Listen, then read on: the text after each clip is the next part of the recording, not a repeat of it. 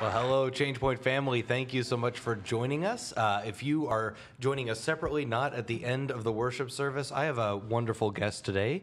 This is Sharon Brunet from the Heart Gallery of Alaska. Say hello, Sharon. Hi. Uh, so uh, we had you on stage, but there are going to be people joining us uh, who were not uh, here for the worship service. So uh, the Heart Gallery of Alaska is one of the many ministries of Beacon Hill. Uh, and for people who are not familiar with Beacon Hill, they're one of our ministry partners. Would you just give us kind of an overview of the ministries that Beacon Hill is a part of? Sure. Thanks. Um, so Beacon Hill is involved with um, uh, families um, in crisis and with children, sort of from the, the, on the full spectrum of child welfare in the state of Alaska. Um, so we've got um, Safe Families for Children, which is really um, uh, an effort to just prevent um, abuse and neglect by surrounding families with community and providing a safe place for children to be um, uh, while you know their parents maybe have some uh, things that they need to get in order. Sometimes it's a hospitalization you know uh, and a parent wouldn't have family around. So you know they can uh, give a call to the safe families hotline and um, and you know just request somebody to care for their children for a period of time. And then you know once the, the hospitalization is over or the baby is delivered or whatever uh, you know the homelessness crisis is is dealt with whatever the issue is then um, those children go right back to you know mom and dad and and uh, but with then uh, a circle of support around them uh, hopefully that those relationships that are built in that process will continue So that's Safe Families for Children. Uh, Yep, so that's that number is one, Safe Families for Children. Number one, Safe Families for Children. Number Yes, two, we Thank have? you. Number two, um, we have a, a Family Support Center. It is located here in Anchorage. The, and then we do, we just recently opened another one in the Matsu Valley. Yes, yes. So, so we've got two family support centers now where um, families can, who are involved in foster care, so the children are, you know, uh, living in foster homes and, and parents are doing their, you you know, reunification work. Um, so it's really significant that these families have regular contact um, and so that they can stay connected. And so as part of their case plans, you know, there's this regularly scheduled visitation. And so that's what's going on at the Family Support Centers so supervised visitation, so that these um, kids can go back to, you know, their parents. So Safe Families for Children, Family Support Center, now available in the Matsu Valley. That's right. What's number three? All right, and so then there's the Heart Gallery. So um, uh, about half of the kids who come into foster care ultimately will need to be adopted in, in Alaska. Um, and so um, we are involved with a very small number of those children. We believe that there are about 150 youth at a given time in Alaska who need to be adopted and who don't have an identified permanent home. And a small fraction of those then may be referred to the Heart Gallery, and then they would have um, pictures taken, and we would uh, get some information um, from the children themselves and from those close to them about, you know, just who they are as the, the precious individuals that God made them. And we would include that on their profile online on the Heart Gallery website and then in print format in some of our communities too, just to um, make families aware that there are these children who need to be adopted. So what is the Heart Gallery website? Where can people go if they're joining us online right now? Where Yep, can they go? You can go to heartgalleryak.com and, heartgalleryak.com. So Yep. if you've not seen these, they're really cool. Uh, they take these beautiful photographs of the kids and they do these really nice write-ups that are just very. I mean, you you feel like you get an introduction, right? So Mm-hmm. Um, goal. Yep. yeah, yeah, it, it really really works well. So how many kids are in the Heart Gallery right now? Do you know? currently 17 kids on the website. Okay. Yes. So uh, and that's your specific area of ministry. That yes. is my area of ministry, You- yes. You and you've been doing the Heart Gallery how long? Since the launch in October of 2016. Okay. So Yes, Heart yes. gallery is your thing. Yes, All right, it cool. is. And one more before we dive in and kind of deep dive on the Heart Gallery. Uh, there, uh, do you want to mention the Yes. Boutique. The boutique. The yes. boutique. So if you're here in Anchorage, if you're here in Anchorage, there's a boutique. Go ahead. Yes, if you're here in Anchorage, there is a boutique, and we are located um, off of Arctic at 2807 Arctic Boulevard. That's where the Family Support Center is, and that's where the um, our offices are located, our Anchorage offices.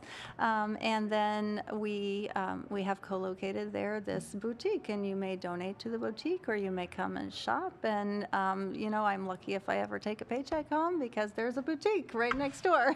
yeah, they've, they've got all kinds of classy stuff. They've got upcycled stuff. If you're uh, if you're here in Anchorage, it's on Arctic, right between Benson and Northern Lights, right by the McDonald's. It's like across the street from the McDonald's on Arctic between Benson and Northern Lights. Right, and all of the, that, um, you know, those donations or, uh, you know, uh, go to the boutique that supports the work. And then if you, you know, um, come shop at the boutique, then you can be sure that, um, that whatever you spend is going to support the work of um, seeing kids uh, secure in, in homes in, in the state of Alaska and supporting families in crisis. Beacon Hill is very cool. We like you guys very much. Thank you. We like you guys too. So let's uh, zoom in on the Heart Gallery specifically, since that's your you know area of focus and ministry. Uh, I mean, how how did that come about? How did you uh, how did you get involved with the Heart Gallery in the first place? Well, I started um, working with Beacon Hill, oh goodness, back in probably May of 2015 was when I was hired on, and I was doing um, some non Heart Gallery things because the Heart Gallery didn't exist at that time. I was helping to transport children to and from visits, you know, overseeing, you know, the just the visitation supervision, that sort of thing, and and so the Heart Gallery was just really in the formative stages, and they needed somebody who would take that on. We thought it would be, you know, maybe one day a week, interfacing with folks at, you know, Office of Children's Services. We weren't sure what it would look like exactly um, in terms of the actual job itself. And um, so I have adoption in my own family history. And, and so that is how I, I guess, and I was willing, you know, to, to um, take on something that was brand new, you know, brand new for me and brand new for Beacon Hill. So that was an exciting opportunity. So the combination of just m- me being up for it and, you know, um, having a little bit of adoption, you know, a heart for adoption because of my own family history, you know, I guess made me the person for the job. So uh, does it work? Have have any have kids been adopted? Uh, Kids have been adopted, yes. Um, so I think we just rolled over 41 adoptions since the 2016 launch, yes. wow. Yep, so we just had, um, we've had two adoptions this year, um, and the, this last one was just really, really recent in April, yeah. That's that's amazing watching God do something like that from something as simple as photos and Yes. and write-ups. Yes. That's really neat. So, uh, if you're, you know, physically here at the Raspberry campus, we have a physical heart gallery Mm-hmm. that is over there, back on that back wall with the photos of kids and the write-ups Yep. and everything. Um, we will link to the uh, Heart Gallery AK uh, Mm-hmm. in the ChangePoint app and on our ChangePoint website as well. Uh, so, if you're joining us online and you want to check out the Heart Gallery, you can do it that way. Is, does the heart, the physical heart gallery, is it like on a tour of churches? Like it's just here for the month of May, right? Right, it's just here in, uh, at Change Point for the month of May. So i- ideally, it would change locations um, month to month. And of course, we are all very familiar with the less than ideal circumstances that COVID has brought to us. we, we noticed, yes, we noticed. So we've been largely on hiatus while folks have been, uh, been shut down, but we're super excited to, to begin to have the Heart Gallery circulate uh, in the communities again. So we do have one that's um, here in Anchorage, we have one that's in the Matsu Valley. Every now and then we, we do like a side jaunt, you know, over to Soldotna or Homer, and then we've got one that circulates a, in Fairbanks, just a little less, uh, a little less frequent moving from one location to another. So, uh, has the Heart Gallery been at the ChangePoint Matsu campus yet? No. Oh boy! All right, we're calling out the uh, ChangePoint Matsu campus. Uh, you got to do a got to do a Heart Gallery display out there. We got yeah. If you got a Heart Gallery in the Matsu, we have a Change Point in the Matsu. All right, let's do it. There we go. That's good. So over this month of May, as we're kind of you know just being reminded, what are ways uh, if if the members of Change Point have you know passion for this, the Lord stirring in their heart, how can they participate and be a part of what's going on in the Heart Gallery? Okay, so there are a few ways to be involved with what's going on in the Heart Gallery. Um, so, uh, first and foremost, if you are a person who's interested in adoption um, and adopting a, a child, then please uh, reach out. We have an orientation that happens about once a month. Um, usually, it's on a Saturday morning. Every now and then, we will have one on a on a weekday evening. Just you know, some folks have Saturday morning obligations to work and other things. So um, we've got one uh, about quarterly that happens on a weekday evening. So definitely reach out um, and, you know, uh, register for an orientation, um, ask questions. You're welcome to just, you know, if you're not even up for coming to an orientation yet, that's fine. There's no obligation of any kind. You can uh, shoot us an email, you know, call and ask questions. Um, if you are a photographer who would like to, um, you know, be involved with photographing youth, that is a really significant way of being involved. Um, there, you know, there are ways to uh, contribute financially, and then there is just such a need for prayer. Um, God moves through prayer, and so we would love to ha- just have people partner with us. And just, you know, if you just log on the website and and take a look at, you know, kids who are there, and just pray for a specific child or pray for children who have the same need who will never come to the Heart Gallery. That's the way also that of just really being involved in blessing these these kids.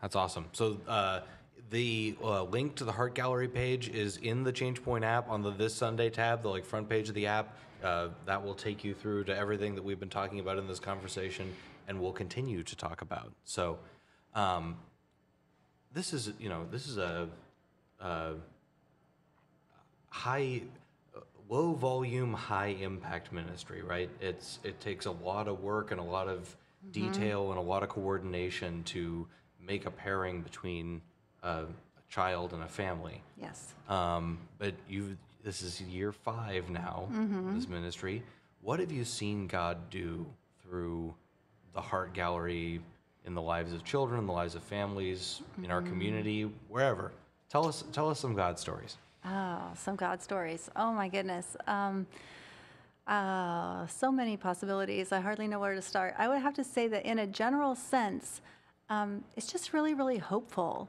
It's really hopeful um, to uh, for youth to be able to advocate for themselves in this way. It's helpful for um, for workers um, who are uh, looking for homes for kids to um, to just have a place to turn and say, hey, do you, you know do you know of a family who could be the family for this child? Um, it's hopeful for families who are wanting to adopt, um, and there's just um, it, it- there's just a sense that there's a that there's a path forward, you know. Um, so specifically, we've just um, you know seen siblings get to remain together. Families have been willing to you know like. Um, to receive five siblings at one time. You know, we had a, a, a couple years ago, um, we had a group of five siblings who were all adopted together, and um, and just amazing stories like that. So kids who have been in foster care for a long time, it is tough on them. It is tough to. Um, uh, to move from home to home uh, sometimes because a foster family can't continue to, to care uh, for a child for whatever reason. Um, and uh, often nothing is specific to do with the child. You know, families are, you know, sometimes military or sometimes get an adverse health diagnosis and they have to move, and that means the child has to move. And that's really tough on kids. So the just to be years in foster care and then to be adopted and to know that you don't have to move again, that that is your family, that they are there, um, thick or thin, uh, and and not just for childhood, but for adulthood. You know, like we don't quit needing our parents just because we turn 18 years old or just because we turn 21 years old. You know, we continue to need our parents. We want them to be the grandparents to our children. You know, as we as as we grow and have kids, and it's no different for these children. Like it is significant for for their whole lives, and so to watch that unfold. Um, is just an amazing work of God that He does place the lonely in families, that He does heal, that He does um, He does take that which the enemy meant for evil and turn it for good. It's beautiful to watch, and it's um, and it's encouraging to witness the ongoing, um, just the, the bravery of youth who continue to advocate for themselves and the, the willingness of families to do what's needed to address the, the grief that children have experienced, um, you know, and the loss that they've experienced. So that is, that is the work that God does, um, and He's doing it through individuals in our community, and it's just amazing to watch. We're in this uh, church-defined message series, and we're looking at the four metaphors in the New Testament of what the church is, and um, one of them is a family or a household, right? That Right. thro- throughout, you know, co-heirs with Christ and adopted in the family of God. Jesus Himself was adopted, mm-hmm. right? So there's a there as you, you were just speaking and talking about that, it it feels very kingdom of God, right? it, doesn't it? You know. Right. When we talk about it, you know, it feels very kingdom of God, and and yet it's just it's. I, I think about like what it is to be a parent, you know, and what it is to be a parent, even though we understand for the children who are born into our homes or whoever, however children come into our homes, um, I mean, there's a lot of, um, there's, uh, there can be frustration on both sides. You know, we're all human beings. You know, kids aren't always 100% pleased with parents, and parents aren't always 100% pleased with kids, right? There's a lot of chores. There's a lot of, you know, like working through misunderstandings. There's a lot of, so when we talk about like kingdom of God, like, and, and that's, it is that but it's kingdom of god in the daily work of um, serving and forgiving and um, and trying to understand where somebody else is coming from uh, you know there's a lot of that Even even that though, I mean, what I really hear you saying is uh, it requires a big sacrifice, right? Yes. To enter the kingdom, which again feels very kingdomy to me that someone would need to make a large sacrifice for people to come in. You know, it's just Uh, the the whole pattern. There's a there's a you're entering into that that path of Jesus, right? and and it's an unconditional thing like god doesn't expect us to be fabulous people before he accepts us into his family. Like on Thank the God. other hand right it's the opposite. He says he says you know like i've already done the work. Join me be a part of my family hmm. and we are going to move forward in this thing together. And and so we're we're asking the same for for our kids. Like they they come grieved they come hurting you know and so to just um, receive them where they are and and to just love them unconditionally um, is a, it is a it is not an easy thing you know? I mean these you're a stranger to this child like the and and these children are strangers to to you you know? And so um, to start from from 100% commitment, but next to no relationship yet, you know, in terms of actually knowing one another, that is a challenging path. It can be a challenging path to walk, but it is, um, it is an amazing thing to watch. That is definitely a kingdom path, though. That is Mm-hmm. a gospel. That is a gospel path. Not everybody needs to do it, but for No. those who do, uh, you will meet God there. So that's tremendous. Over the last five years of you know leading this ministry, um, kind of zooming in from meta kingdom stuff Mm-hmm. to to you, what has God shown you? What has God taught you? Uh, just being involved with all these families. Oh, well, he's taught me um, what I think that he, you know, through this process and just through life, right? I guess maybe to some greater or lesser degree, everybody needs to learn this, but maybe I particularly need to learn it, is that um, just doing small things, um, when God is involved, yield profound results. You know, like I, there's nothing that I do that is something that nobody else could do, right? Like there's a- like like anybody can do what I myself personally am doing. I am making phone calls, I am sending emails, I'm coordinating photographers. Like for me personally, like it's it's a series of very small tasks just done regularly over a period of time, and and yet there are these amazing things that that come out of that work. Like the you know there are photographers taking fabulous pictures. There are um, foster families who are caring for these children. And there are adoptive families who come and that that transition and that support of those families with one another. Um, and so God is is working greatly in the small things. That is a a- and and it's time. It takes time. You know that that there's it's not a hurry. It's a series of small steps over time, and He is doing the work. Yeah, that reminds me of loaves and fishes. You know, you show up with a little bit and he does the rest. It reminds me, it's just, uh, yeah, long obedience in the same direction, small faithfulness. It's beautiful. And uh, yeah, even making photocopies or phone calls when when handed as an offering to God, he can use it to whatever he wants to do. So we're almost out of time. Uh, I know, isn't it crazy? It's just flown by. It just it just goes right by. Um, is there anything that you would want to say to your brothers and sisters in Christ, our Change Point family? Anything you want them to know or be thinking about, praying about that I haven't set you up for? I would say really if you if you have an interest in adoption if you have an interest in foster care if you even if it's just a curious interest you know even if it's not like a, i think i might want to do that i, I think it, if it's just i may i may want to know more about that. How does this process work? What are the the needs of the children? What is required to be an adoptive family? Is there another way that i could be involved?